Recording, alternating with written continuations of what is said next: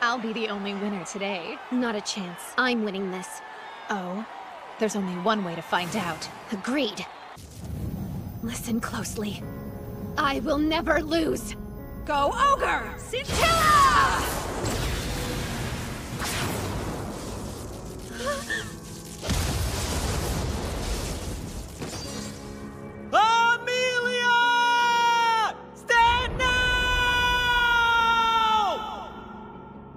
Material code and decode material code. Hule. Process embodiment. Causality.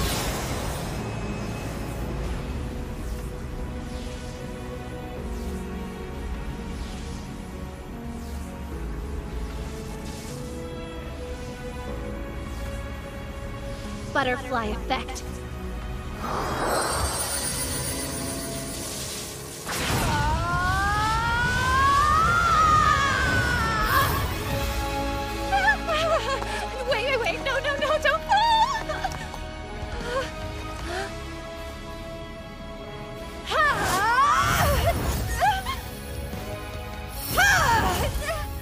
You can try all you want, Ariane.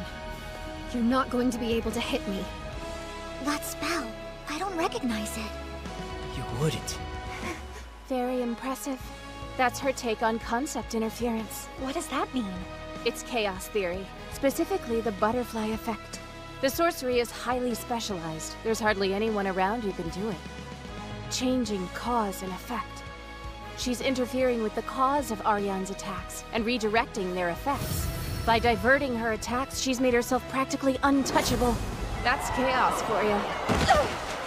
She'll try, but no matter how many punches Ariane throws, she won't be able to land one on Amelia.